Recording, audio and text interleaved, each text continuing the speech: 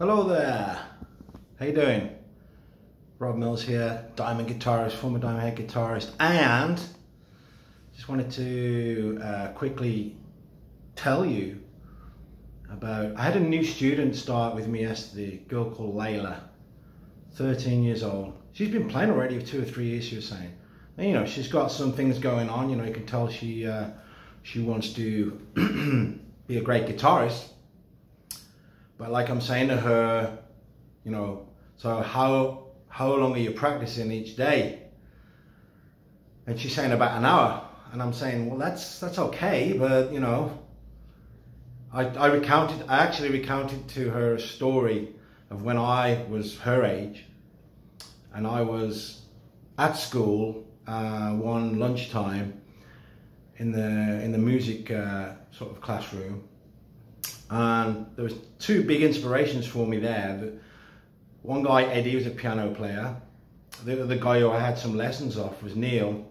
Both great musicians, both great guys. You know, I was like this uh, starry-eyed kid at 13 years old or whatever, 14 years old. And uh, what happened was uh, Eddie, the piano player, he was there and he was playing. I didn't realize it at the time because I don't think I'd even heard it yet, but he was playing Stairway to Heaven obviously by Zeppelin. And he's playing it, and I was thinking, wow, that's beautiful, that's amazing. And then Neil walks through the door and starts talking to him, and, and he just carries on playing this piece. And I'm like, I was astounded. I was like, how can you play this intricate piece of music and hold a conversation at the same time? So I just went up to him afterwards and I was like, how do you do that, man? He said, well, practice, you know, practice makes perfect. And he said, like, you know, I told him, you know, I want to be a rock star, I want to be in a band, I want, to, you know, I really love Guns N' Roses at the time. And he says, well, practice 12 hours a day. so I was trying to convey this to Layla, you know, look, you know, she, you know, you can tell she wants it. She wants to be in a rock band.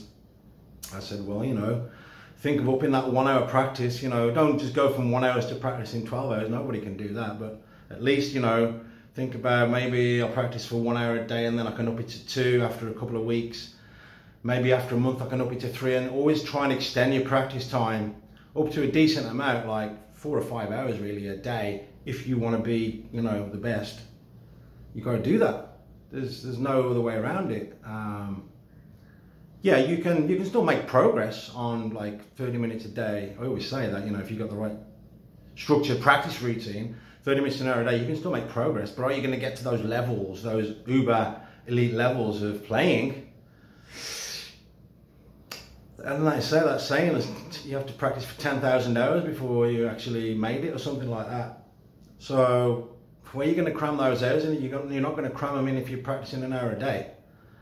So, and what happens naturally, if you're really into it, you start seeing the results, then naturally you want to practice more anyway because you're like, well, I'm getting results, so like, well, I'm going to invest more time into it because I want more of that good stuff, right? So, yeah, so uh, just thought I'd put that out there she's very promising. And uh, I said, do you want to do anything on like, you know, social media, Instagram? She said, no, no, no, even think about that. I want to be in a band. I'm like, well, that's great. You've got a single-minded attitude. That's great.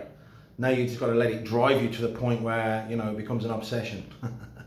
it's what I did when I was, you know, 14, 15.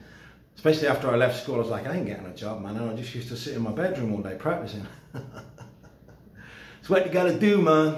What you got to do. Anyway, peace out.